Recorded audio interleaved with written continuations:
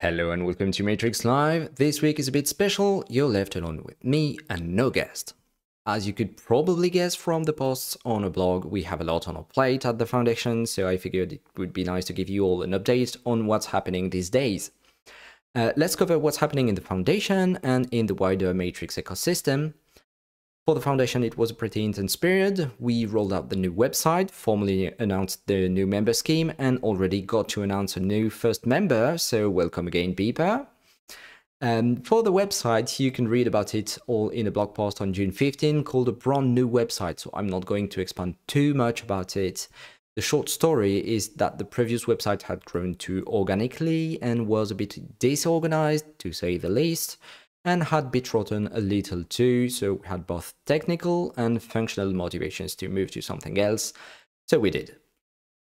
I'm very happy we received so much positive feedback about the new version. Um, a few things still need to be adjusted, so please, if you stumble upon something odd, let me know in the website issue tracker, for which I'm going to leave a link in the description. The website was also created with the new membership scheme in mind. Uh, the front page is meant to gently onboard newcomers, but we also wanted to make options to supporters more prominent. So the first item you can see in the support page is a call to action to incentivize you to become a member. This is because the Foundation is now able to formally accept both individuals and organizations as members. The main goal is to steer the Foundation in the right direction sustainably. So if you want to dig in the whys and hows of the membership, we have a blog post announcing it called Announcing the, Mem the Matrix.org Foundation Membership Program on June 20. This is another initiative that was very welcome. We received plenty of requests for membership from individuals. Uh, I'm going through them progressively, so don't worry if you haven't heard back from us. It's just because so many of you want to be part of the adventure, and that's truly heartwarming. We also received a request from several organizations, and that is really great too. Uh, but now I'm looking at the public sector in the eye. It's now your turn to show up and contribute to the sustainability of the Matrix ecosystem. I'm delighted to say that Beeper joined the Matrix.org Foundation to support Matrix development and sustainability. So thank you, Beeper, and you can read about the why they decided to support us in the blog post Beeper joins the Matrix.org Foundation from June 22. I also got a few questions from individuals following the membership scheme announcement. Uh, the first question was, what about supporters? So membership is complementary to supporters. If you believe in the mission and trust us to take the right decisions, it's perfectly fine to just keep donating to support the work. If you want to get more involved in the governance of the foundation, you can request membership by reaching out to us at funding at matrix.org and we'll get back to you. Uh, this allows you to indirectly run for the governing board uh, because there is one new representative of individuals at the governing board um, up to four uh, members. So one representative every 50 new member. So in short, I recommend you to apply for membership only if you want to get involved in the governance.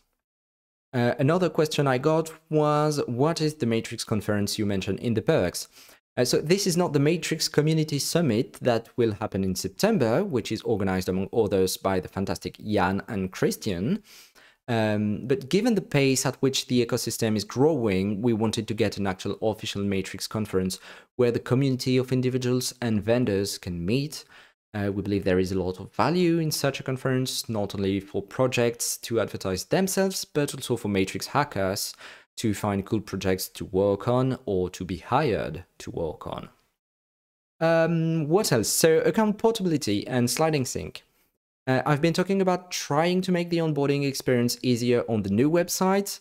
One of the objectives of Matrix is to promote decentralization, and the Matrix Foundation doesn't want to become the Gmail of Matrix. Uh, but at the same time, we need to be mindful of the general public's understanding of concepts like federation, and we need to be able to offer a simple onboarding experience for people who are not into tech.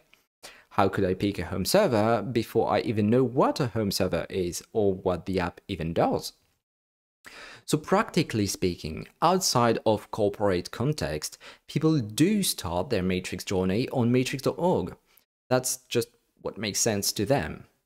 As of now, it's difficult to leave a home server from another. We have migration tools that exist, but the whole experience is quite clunky and it doesn't really feel native because it's not. This is why the Foundation is working on account portability, uh, and the first step for that is pseudonymous identities. I recommend you to watch the last week's Matrix Live with Keegan to learn more about uh, account portability and pseudonymous identities.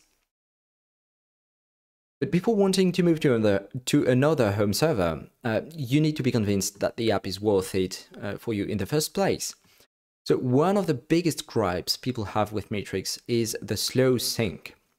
Sliding sync is a new way to perform sync that is very fast, and Matthew did a demo of sliding sync in practice uh, at FOSDEM in February.